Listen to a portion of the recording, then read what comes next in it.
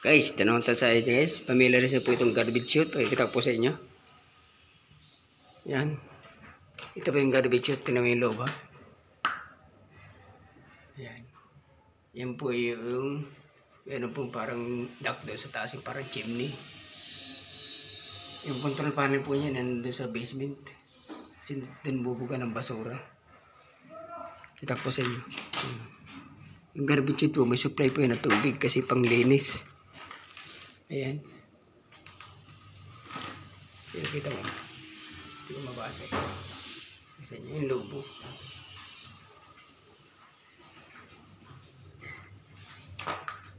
Ayan. May motor dyan sa loob. Ano? Basa. Basa. Hindi ko mabasa.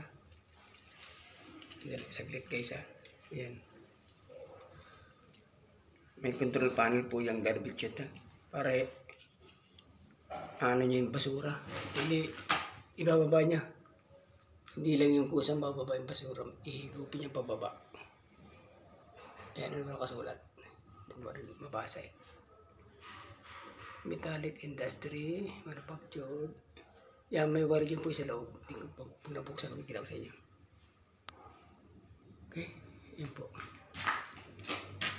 Sasara na natin, pakita ko sa inyo. Yan. Ayan ha. May ducting yan itong pataas. Saka hanggang sa baba. Ducting yan. Makikita iilaw dito kung nagkararan siya. Ito stop. Ayan o. May parang lift siya sa ano.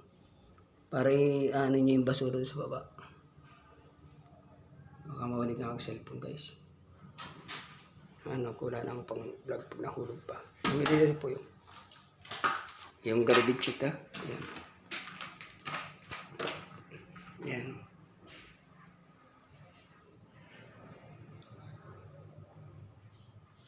Dito, dito niya pinadaan niya yung kable. Natin. Ayan. May GI trunking na 10 by 10 or 100. Ayan, nandun sa baba. Ayan, oh, sa baba sa basement. Ayan. Nandun yung control panel. Ayan. Sa basement. Ayan yung wire, oh. May, wire kasi, may supply yan. Dahil may control panel. Ito yung pinatakbo ko. Yan, sa, pinakamataas na yun. Nasa second floor ako. Ayan, tino. GI trunking na 50 by 50 pala yan. Okay guys, sana po may idea kayo about sa ano? Eh, may linya ng tubig siya nasa Fire Pro. Kasi may may pressure, may pressure din yan kailangan eh. Okay. Hmm.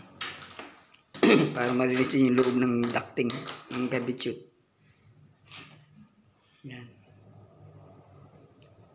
Antayin niyo po ha.